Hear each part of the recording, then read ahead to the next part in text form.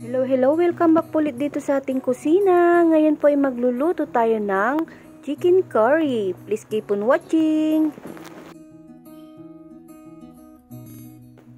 Ayan guys, nagpainit na ako ng cooking pan. Naglagay na tayo ng sibuyas. Ayan, inuna kong nilagay yung sibuyas guys.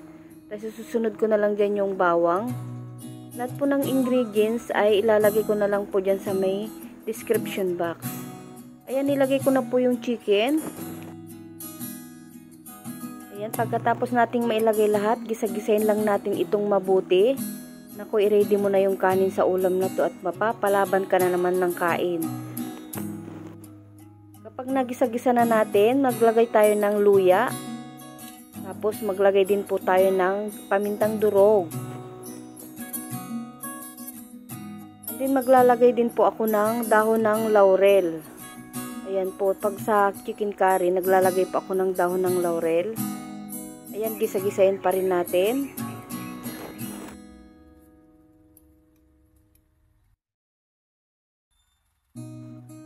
Tapos po timplahan natin ng patis. Ayan, panimpla natin patis. Masarap guys panimpla ang patis. Ayan, tinansya-tansya ko na po yung paglalagay natin.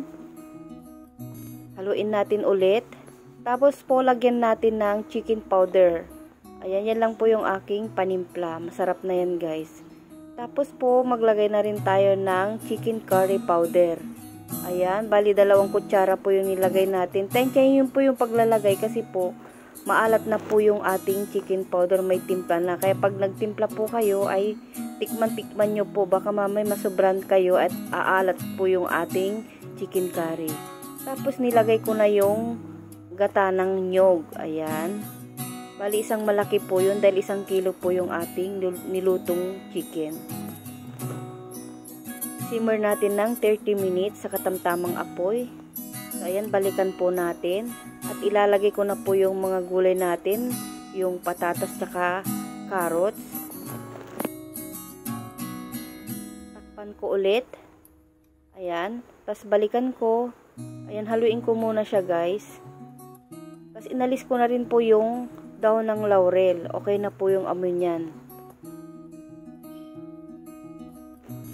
Tapos titikman natin kung tama na yung lasa. Magdagdag na lang tayo kung kulang pa.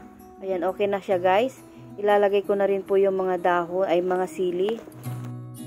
Bali yung mga sili natin, isang bell pepper, tsaka yung siling green na panigang. Ayan, simmer natin ng kahit 3 minutes. So, ayan guys. Luto na yung ating chicken curry maghanda na ng kanin. Ayan po, marami pong salamat sa inyong panonood. Palike and share naman po itong video na to.